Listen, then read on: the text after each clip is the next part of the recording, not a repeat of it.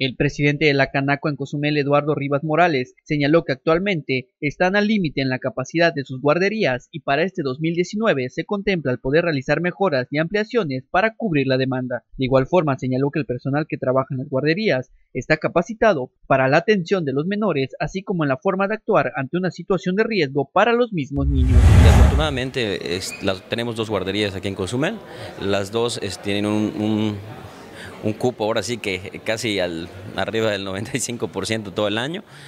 Eh, yo creo que hay necesidad de, más guarderías.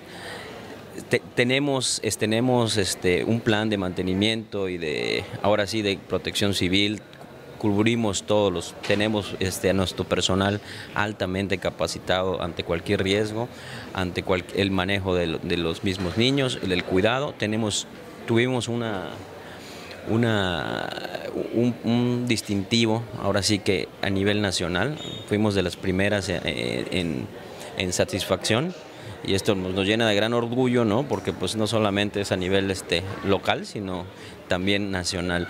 Seguimos trabajando en eso, se está dando los mantenimientos este, respectivos a, a las guarderías queremos ver si hay oportunidad de, crecer un poquito más. En eso estamos, estamos en espera de las autoridades que están entrantes, ¿no? De este, pues de seguir con estos, con estas inquietudes y estas, este, ahora sí que visión que tenemos de, poder aumentar el número de niños aquí en la isla.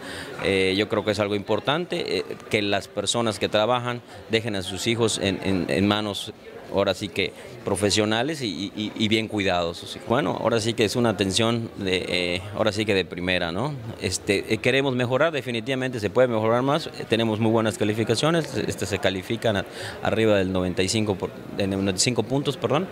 Este, no hemos bajado de esas calificaciones, seguimos metiéndole, seguimos reforzando. Este, y esperemos que no, este, crecer un poquito más y, y modernizar a lo mejor un poquito más este, la, guardería, ¿no? En aspectos este, de infraestructura. Con imágenes de Fidel Sabido informó para Canal 10 Iván Maldonado.